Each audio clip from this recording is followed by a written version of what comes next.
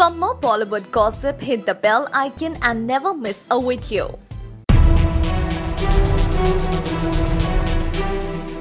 जहाँ पूरी दुनिया एक सेलिब्रेटरी मूड में है वही बिग बॉस शो के घर वालों ने दिन की शुरुआत ही एक झगड़े से की है। विश्वास नहीं होता।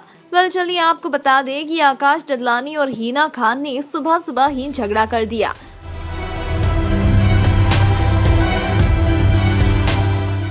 ये सब तब शुरू हुआ जब शिल्पा ने घर वालों को कहा कि साल का पहला दिन है तो घर की सफ़ाई करनी चाहिए। हीना ने तुरंत सभी से सफ़ाई करने को कहा, मगर खुद नहीं उठी। फिर जब आकाश ने कहा कि वो रात को बर्तन धोएँगे तो फिर हीना ने बड़े एरोगेंटली कहा कि किसी को तो अभी काम करना होगा। बस फिर क्या था। आकाश को इतना गुस्सा आया और उसने तुरंत हीना को कहा कि तुम एक डिस्गस्टिंग वुमन हो। और हीना ने तुरंत रिस्पॉन्ड करते हुए कहा हाँ मैं हूँ। वेल तो अब इस लेटेस्ट बात के बारे में आपका क्या कहना है? हमें ज़रूर बताएँ।